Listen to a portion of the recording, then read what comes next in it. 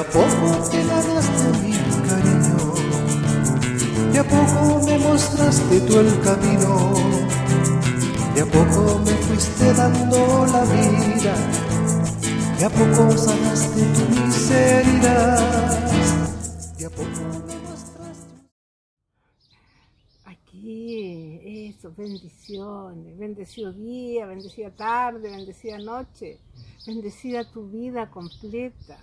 La mañana que le dijimos, gracias Señor, gracias por este nuevo día, no sé qué va a ser de mí, pero te doy gracias porque lo que tú vas a permitir va a ser lo mejor.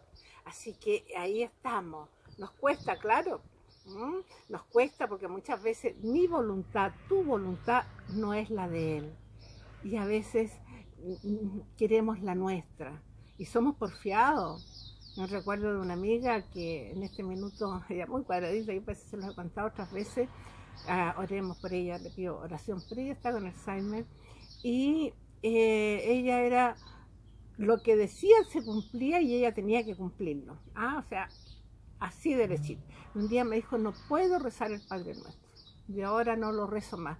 ¿Pero por qué? Le digo yo, porque ella tenía un hijo con síndrome de Down y sabía que, se, que, el Señor le venía a buscar luego. Tenía, en ese minuto cuando conversamos, tenía como seis meses.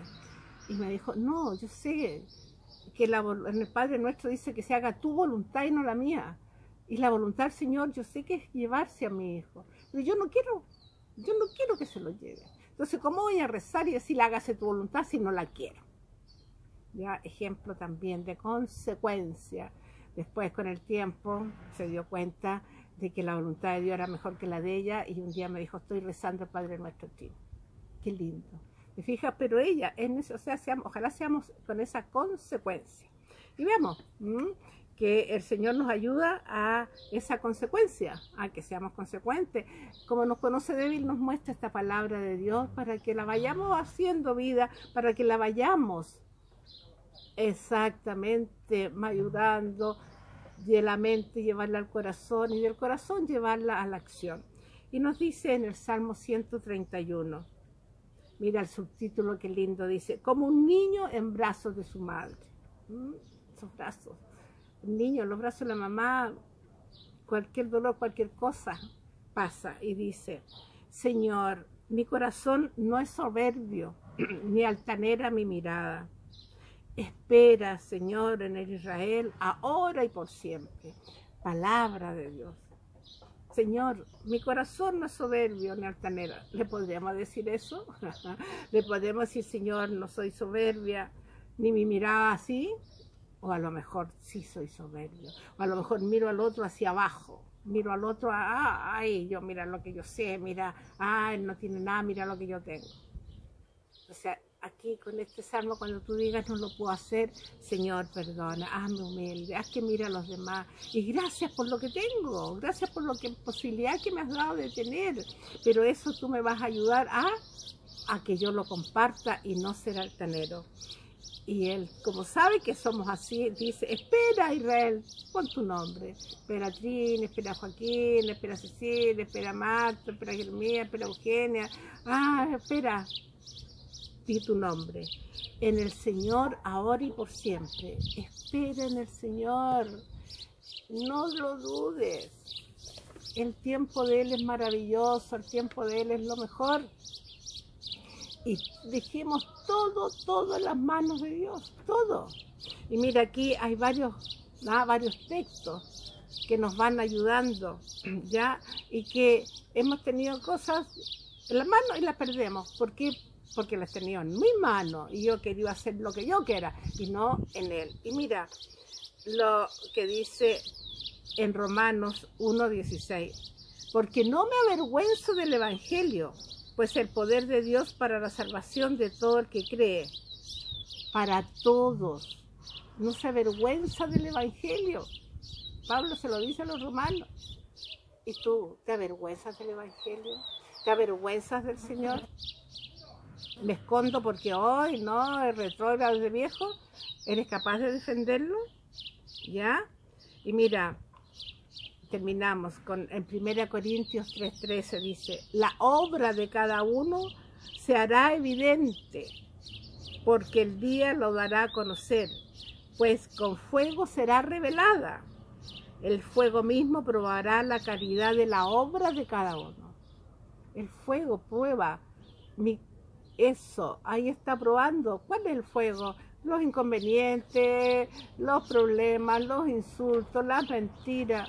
Bueno, esos son los inconvenientes, ese es el fuego que va a ver, va a probar la calidad cuando se pone ahí en el fuego. Si está bien hecho, sigue, pero si no se quiebra. Eso mismo pasa contigo y conmigo. Si no estamos en la palabra de Dios, no estamos en el Señor, no lo hemos dejado a Él entrar. Y sigo yo, yo, mi egoísmo mirándome a mí mismo, va a pasar que la enfermedad me va a matar, que el problema me va a desesperar, que la angustia me va a hacer irme del camino del Señor. Y eso vamos a ver que no nos lleva a nada, a nada bueno. Así que hermano, hermano querido, digámosle, Señor, confío en ti, saca mi orgullo, saca mi soberbia, saca eso de mirar el menos a los demás, dame tu humildad, ayúdame a tener paciencia y a esperar tu tiempo, que no es el mío.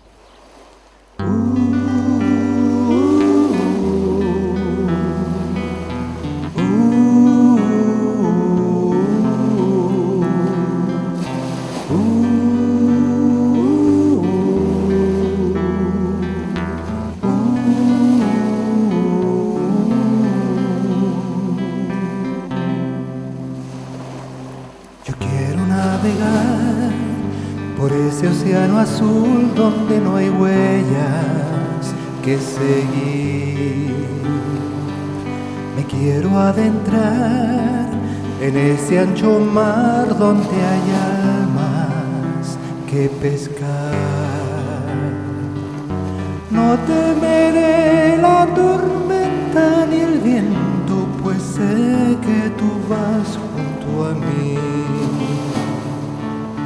Aunque la noche sea oscura y profunda, tu luz me guiará.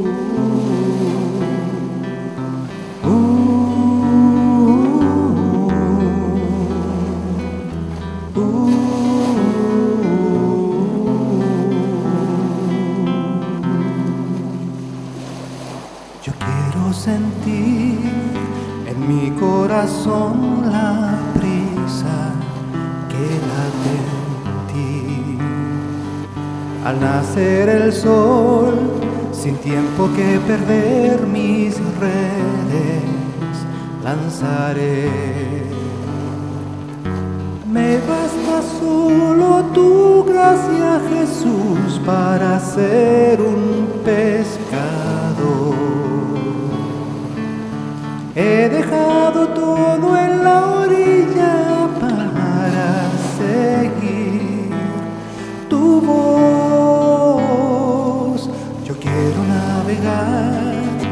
en ese océano azul donde no hay huellas que seguir. Me quiero adentrar en ese ancho mar donde hay almas que pescar.